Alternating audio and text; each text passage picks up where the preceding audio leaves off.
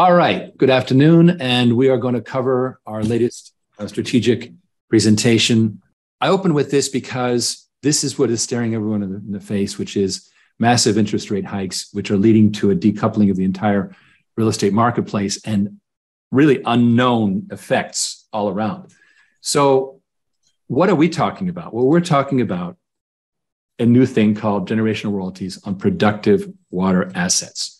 But let's first take a look at the existing assets, real estate, as I was just mentioning, is extraordinarily vulnerable, and it's it's um it has feet of clay, which is everything is debt in real estate. Precious metals, they're fine. They're kind of not doing anything. Everyone should have them, but there's no income. It's not a great way to build a portfolio. Com- commodities are high priced, but what's weird is now they're starting to drop because of demand destruction as we as we move into stagflation. So as the economy slows down, lumber, for example, is down 60%. And so uh, that's not a, I'm, I, I was in commodities, I got out completely. Stock market, same way. I'm in cash. Why? Because it is completely overheated and it is dependent upon Fed interest rates being zero or close to it. And that's going to be over for a little while. Bitcoin, oh my God. Well, a lot of people who went deep into Bitcoin are uh, getting margin calls or just they're, they're, we are hurting. We are hurting. Hurting for sure. Uh, and on top of it, the exchanges themselves are potentially, you know, going to take your money away. It's not a pretty picture. Exchanges are very convenient, but they're also dangerous. Now, water, meanwhile, for a century, clean water was a government monopoly.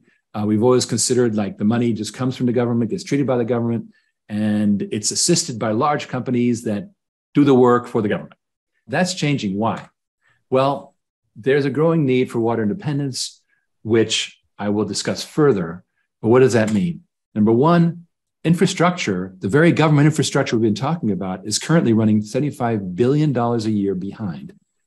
And the last remedy, which is the vast $1.2 trillion Biden administration bill, only allocated $55 billion total for water, which is not even a year's catch up. So that's a pretty sad situation. It's not going to get any better.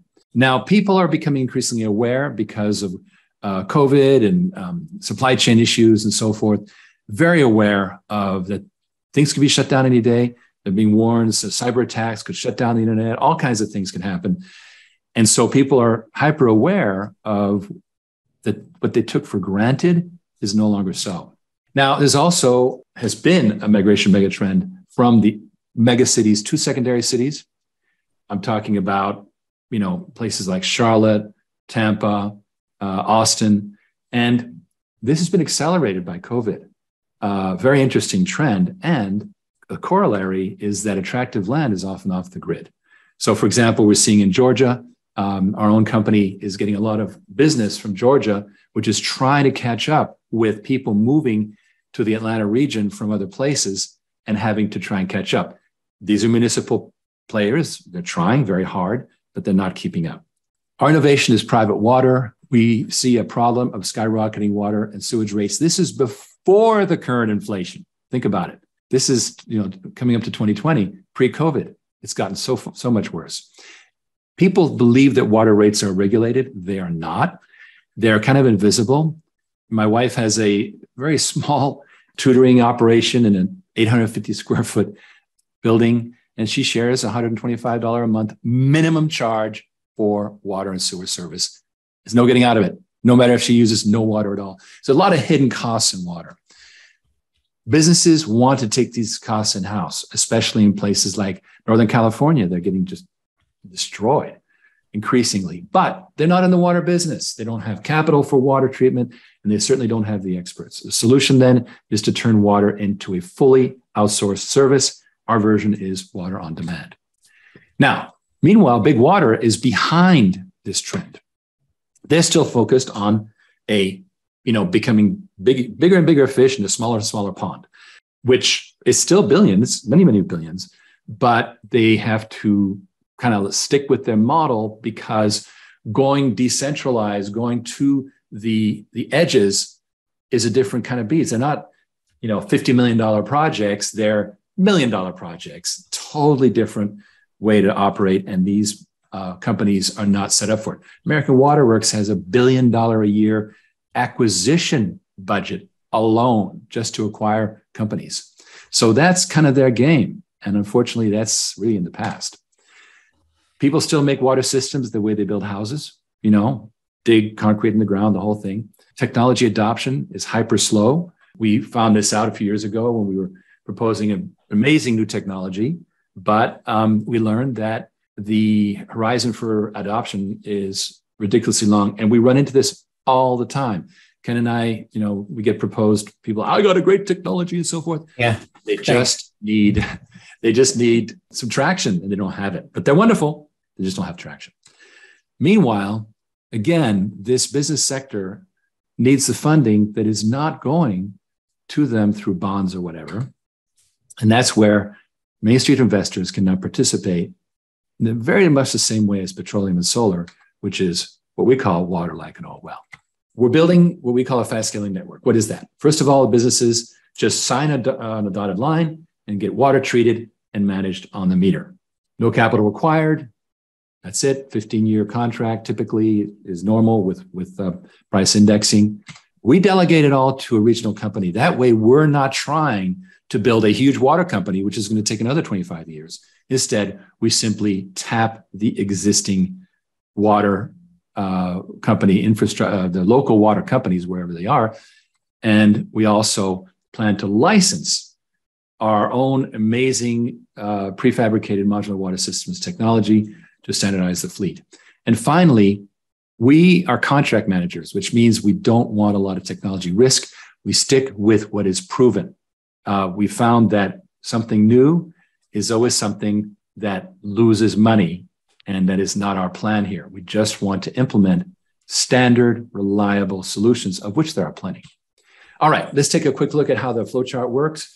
Initially, uh, investors invest in this water demand subsidiary, which is kind of like think of it like a like these um, master limited partnerships in energy, very similar, a basket of, of uh, properties. And sure enough, this subsidiary then inks a direct contract with the customer with built in price indexing. Now, that contract is very important and it belongs to that subsidiary, which then commissions a system with a contract designer and builder that does a standard job with reuse and the whole thing. And that system is connected to the cloud, permitting operation and maintenance and managing and billing of, of charges to the customer, who then pays and shares go back to investors and partners. Full loop is closed, everybody wins, and that is a smooth process that if all the pieces are in place today. Now, one solution for four challenges. First thing is, of course, meet the customer's water needs. The second one, contractual limits to rising water costs for customers. Very important. This is key and it's getting worse. Investors are protected through real assets with real cash flows and their own inflation indexing that permits them to keep up with inflation, but also the customers don't have unlimited risk. It's, a, it's the best of a bad situation, but that's what people are looking for. And finally, the, these clients, these companies, these water, the water companies, consulting engineers, all get their projects funded, and there are many of them.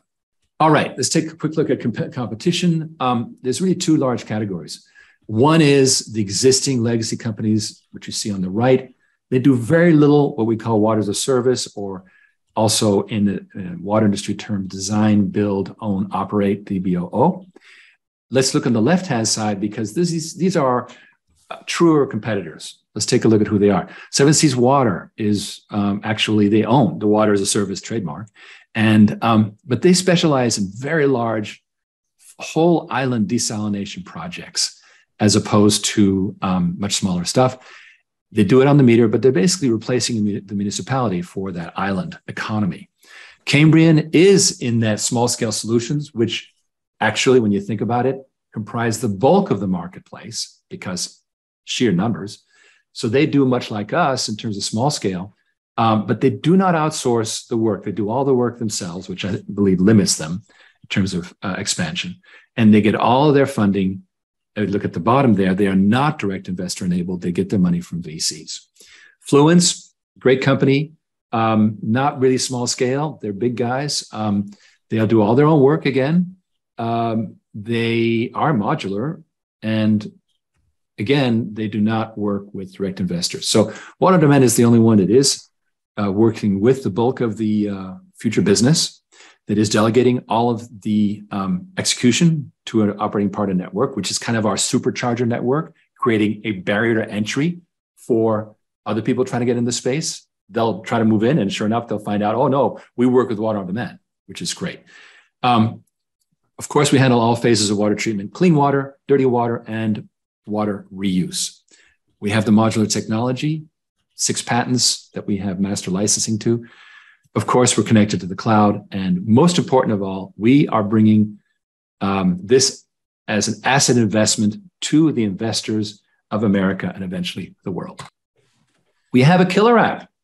We, this, we ran into this uh, the last couple of years where all of a sudden um, segments that we, I call uh, human communities. Uh, really, these are um, uh, communities that are forced to make sure that they have their own water um, self sufficiency, like housing developments, like trailer parks, um, uh, motorhome campgrounds, uh, freeway travel stops, hotels. We already have a number of customers already in these areas who are paying. What we're going to do with this is simply putting the icing on the cake by adding water on demand to accelerate the adoption, make it simpler. So it's a full acceleration. All right, full picture here. Um, very important that all of the needs are fully outsourced. So therefore, these clients do not have to worry about the details of water treatment. So it's even more important than not, ha- than not having to come up with the capital is to not have to manage a whole new cost center.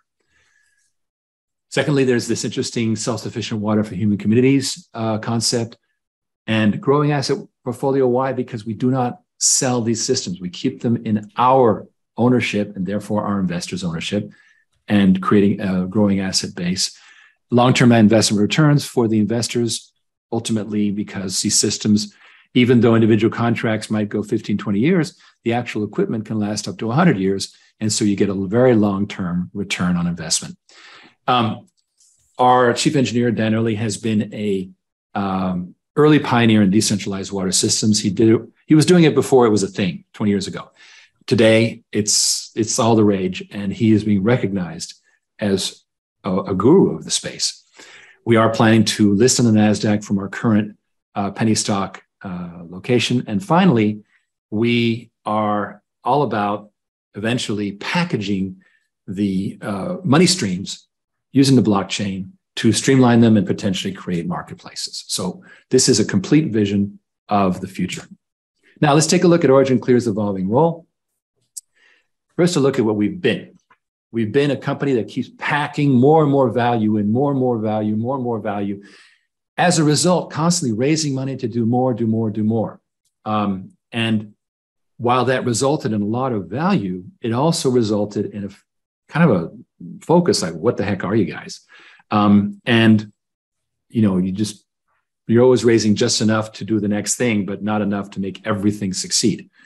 So we looked at that and we realized a better um, model is to actually do the job of incubating uh, you, because crowdfunding has become mature enough that you can build entire companies with this um, this uh, for example regulation a the very amazing um, success story of Knightscope on StartEngine, which raised $110 million using unaccredited investor uh, rounds and is on the NASDAQ. So that is a mature way to use wide public marketing and not to be hostage to the endless due diligence of the you know PE funds or whatever. Just go ahead and raise the money, and that's very smart. The second thing to point out is these are single ventures, and I'll, and I'll discuss that further. So in terms of rollouts, we're focusing on water demand with the Water for Us initiative. Next year, now you notice this, strange term, Everamod. Uh, we're, we're basically looking, Everamod is the brand name for our line of pump stations, which is about the most boring thing on the planet. Literally, pump stations move water from one la- level to another level higher. Uh, pump stations are clean water, lift stations are dirty water, and we've got a growing business in pump stations with national accounts growing. Why? Because Ours are super durable. The million plus pump stations in America are all falling apart, and we are now replacing the entire installed base. We're the preferred choice for so many customers today. So we decided to pull it out, make it a new business unit, and eventually spin it off as its own thing. The year after that, the parent, Modular Water, which Veromod came out of, we plan to take that out to um, to the uh, through the crowdfunding process. And finally, good old progressive water treatment, which has built custom systems for very large customers and managing cities and so forth, so many good things, and has its own uh, intellectual property base will eventually uh, go out. So that's five properties, and then going forward, more incubations. So OriginClear is kind of is going to kind of be in the permanent launchpad mode. So I've just discussed that. One man launched H2O Verimod, modular water systems progressive. What are we? Well, we're we're a change agent. We're this 14 year small, uh, you know, scrappy small public company that somehow survived and our investor base, there's, there's none better. Um, I remember when Ken Berenger came on board in 2018 and went to work talking to those customers, and he was blown away by the fact that these customers, despite having waited a long time, were strong loyalists and believed in our vision. And since then, we've done the right thing by them, and they continue to do the right thing by us. We have proven that we can raise money from the retail accredited investor. Why is that important? Retail accredited investors can be reached with marketing. They can be pitched one on one. They don't have a three month due diligence for you. And they don't sell their shares. Very few of our accredited investors are, are sellers. They hold, they are true believers, the long-time holders. And um, we have justified their faith by making sure they did not cr- get crammed down as long as they stuck with us. Our production facilities have a sterling reputation, uh, really amazing. And uh, as a result, their business is growing. Obviously, we know how to roll out new ventures. 2018, for example, we launched a modular water systems, which just in May uh, had a month of purchase orders that was as much as the entire year of 2021. Um, that was a venture we launched in 2018. And finally, in 2022, is really starting to move fast. Notice how long it takes. This is the water industry. But once you hit that inflection point and you start, you know, the hockey stick, it really takes off. And that's what we're seeing. We have experience in various areas which are critical to being a launchpad. All right. So we're the mothership, which means we provide all the centralized services. And that way the business units can stay specialized on what they do.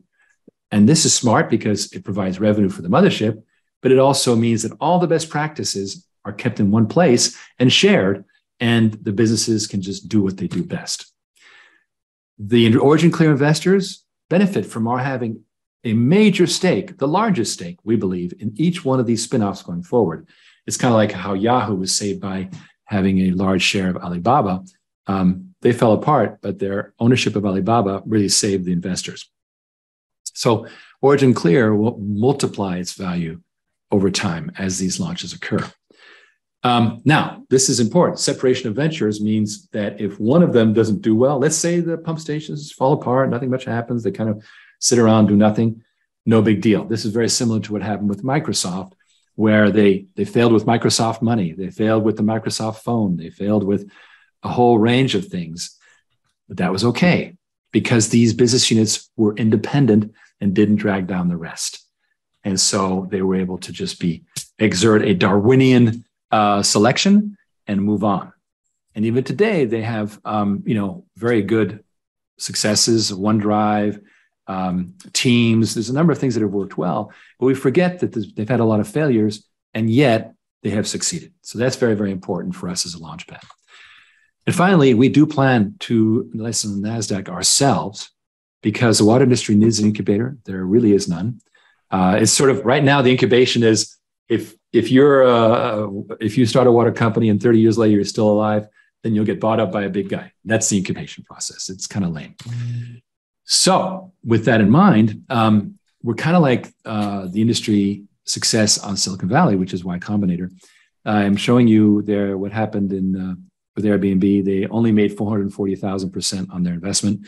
Um, we actually plan to cover more of the waterfront and to go all the way into more of the rounds. But we, we own that beginning, that super profitable beginning, and then continue on up from there. So that is really what we're about. So our first incubation is complete. We are um, we've launched Water Demand, Water Like an All Well, where for the first time ever, everyday investors can earn generational royalties from private water systems. It's modeled on the oil and gas MLP space, which was launched in 1981, is today a 300 billion plus marketplace, very viable, and everyday investors can invest in it. Um, no more massive central systems. This is the future, smaller endpoint water treatment, businesses doing their own water treatment. And by the way, saving water by reusing the water, which unfortunately the central utilities never do. And we now have initial funding in place for the first commercial pilot program. All right, let's quickly take a look at the team. Myself, I have a background from the dot com, being a disruptive marketer, uh, and having kind of learned in the in the on the battlefield of the dot com the year 2000 crash and going forward. Uh, long before that, I was a ship captain and um, had my share of adventures in uh, the Atlantic and Pacific. Um, and that I think is a good mix to be able to react to the unexpected. Ken Berenger, of course, is not only the co creator of Water Demand, but he helped design the uh, dollar H2O water coin concept, which is in our future. He has brought us an amazing amount of banking and uh, Salesforce training experience. And um, he continues to know exactly, well, he's very adaptive. And I think that's the main thing to know about Ken is that he knows how to roll with the punches, which you better know how to do in the finance world today. Tom Marchesello came out of the Air Force Space Command, um, worked in product marketing, um, went on the buy side in the investment banking space, and also worked with the uh, Chicago Mercantile Exchange on Bitcoin actually back in 2015, believe it or not. So he's been around for a while, and that's where I met him. Actually, was in the crypto space. With him is Dan Early, our chief engineer, who um, is really a guru in the area of uh, structurally reinforced thermoplastics, basically very, very tough polyethylene systems. And um, he is uh, not only is he a great engineer, but he's well aware of the need to communicate the value of what is done. Um, because engineers kind of like they, they kind of let you know good good work speak for themselves, but he's great at communication. We appreciate that. Uh, Prasad Tare joined us about a year ago, and uh, he has really brought world class uh, audit experience and financial management to us, which is well needed and will be part of our NASDAQ path. Mark Stevens is the longtime president of the company we, we acquired in 2015, which has just an amazing reputation. Now, let's take a look quickly at our historical performance for the existing operating units and going forward. Looking at uh, progressive water, we see starting in 2019 through 2021, roughly, if you combine the green and the blue, roughly a $4 million a year run rate. Pretty static, really, a million dollars a quarter. That changed in 2021. Things really took off. We had a tripling of orders in 21, which are today driving a 50% increase in revenue. Remember that orders turn into revenue over a long period of time. Why? Because you, it's just like building houses. You got to build the water systems, and it takes months and years. Uh, we, you know, Progressive Water closed a $5 million deal in August with a large utility in the Southwest. And that is going to take about two years to fully deliver. And um, that's kind of the way the cookie crumbles. But it's great because it builds a huge backlog of paid business. You also notice in 2022, we are planning to separate uh, Veramod from Modular Water Systems because they're starting to grow national accounts. Um, and so it's, and what's great about Modular Water is it's been doing these numbers, uh, you know, a million dollars in 2021. This is revenue uh, expected a million five or more in 2022. I think that's conservative, um, partly because we've broken out the Veramod part, which otherwise would have made it more like 20, you know, 2.2 million. But the point I'm making is there's only four people in Modular Water. So it's a very efficient operation. And their order growth in 2022 is going to continue to drive the growth of both the pump station business and the modular systems business. And you see that in the next slide here, where a history of um, zero or, or slightly negative gross profits turned into very strong gross profit numbers last year, uh, adding up to over a million dollars in, in total. And that trend will be continuing going forward. So very nice uh, look at the business. And this is these are the these are the businesses that already do work for us today. All right. Now let's take a look at the consolidation of everything, including the new, starting with, of course, water on demand. Um, now, the growth of water on demand is driven by A, the amount of capital raised, and B, how many machines we can put into service, remembering that we have to select the projects and select the partners.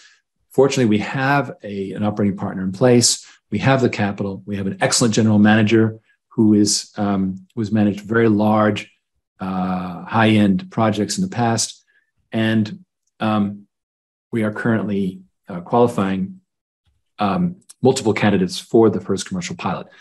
As you can see, uh, water on demand starts negative, of course, because that's where we're spending money, but then it starts to make some serious money. And look at this it's making uh, top line about 90 million, of which almost half is operating profit. Why? Because it's pure finance, right? This water hardware is low margin, but water financing, if done right, is very nice margin. And out of that, um, 25% goes to the investors. And you notice that the investors represent about 10% of the gross. So the royalties are 25% of net profits. And it looks like from the pro formas that they will be about 10% of the gross, which is a very nice picture. Um, water demand is uh, really the gorilla for all this. As you can see, um, you the all the other units being rolled out only add about $30 million to the total in, in 2026. Um, they're essential. Why? Because they uh, provide a lot of technology value add and um, they, they simply are a different kind of business, so they have a nice blend. But as you can see, 2022 and 2023, we continue to have losses, but they dwindle and, be, and we're looking at profitability, operating profitability in 2024. Now, by the way, I might say that OriginClear itself, the mothership, does not plan to have uh, fundraising. It will not need it. Why? Because A, it's got profitable businesses, as you saw, and B, it gets from the businesses it exports or launches, it gets management fees. That combination ultimately will lead to um, our not having to raise money for OriginClear itself and simply raising money for the individual um, uh, ventures, which is very healthy. Okay, let's take a quick look at the offering then. Um, the forecast again is 90 million over four over five years, um, ending up with about 400 systems. That's our uh, plan based on a model with sort of blend of machines, um, water usage fees, which include inflation, so that there are there is value. We're not being excessive, but at the same time, we're giving good return on capital, and of course this all depends on the availability of capital. The and the first chunk really is is twenty million dollars with the goal of a three hundred million dollar total, which we will discuss further. Where where is this all going? Well, majority of it is going to fund these capitalized water systems, and the rest of it goes to build out infrastructure. Remember that if we're delegating work to water companies, well, we better make sure that they succeed. Otherwise, guess what? Money doesn't come in from the customer. So it's very, very important to be good at uh, enforcement, contract management, project management, really being on top of performance and applying remedies, um, effective remedies to make sure the customer wins, and therefore we do too. Okay, let's take a look at what the offering looks like. Investors currently in this new offering get a 25% long term royalty on the totality of what they invested. So let's say they invest $100,000 they get 25% of the net profits from that $100,000 being invested in water um, on demand, pay per gallon. Additionally, they get 10% of the new company, the private company, uh, only, but they only the first $20 million in investments get to share this. And by the way, we're down to only $17 million left. Um, that is dilution protected. So as Water on Demand Inc. moves forward and eventually becomes a public company, that 10% will remain 10%. That's super important. Um, now, because it's so early and we don't, we're still, you know, getting our first pilot underway and so forth, we are sweetening the pot in a big way by giving investors uh, preferred stock that is um, stock that is protected from price uh, drops because you only you convert at the price at the later price whatever it is. Technically 150% of your investment actually it's 165% for a short time. Um, which means that you invest $100000 you immediately get stock worth $165000 and you get double warrants means two more opportunities to buy at the same price um, with a strike price of 25 cents, which um, is very good for your upside. So to summarize, basically you make far more than your, your investment, and you have long-term opportunities both from uh, royalty income as well as uh, a piece of the new company. This is summarized here, which I won't go into, but it's basically um, covers the investing benefits. You are founders today. This situation will not last. That 165% goes to 150% and all the way down to 100% over time. There's also an escalation for multi-million dollar investors getting more percentage. So we do favor large investors, but right now we're doing a fine job for accredited investors who are taking the leap today and they're getting that 165% is what normally a $5 million investment would get you.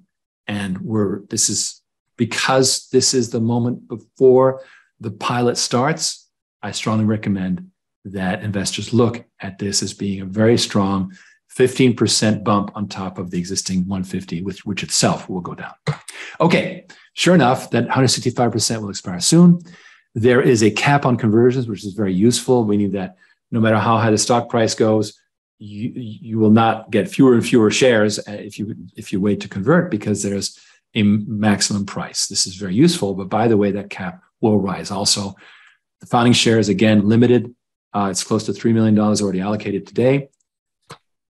And we would like you to simply go to originclear.com, click invest for um, full the full information and to schedule a personalized briefing with the very amazing Ken Berenger, or you can simply go to oc.gold slash call Ken or call him. Either way, join us and invest in the new asset class water. And I'd like to thank you for joining us. And here is a, a Regulation D disclaimer, which spells out the uh, parameters of the investment. And we look forward to your questions and to working with you in the long term.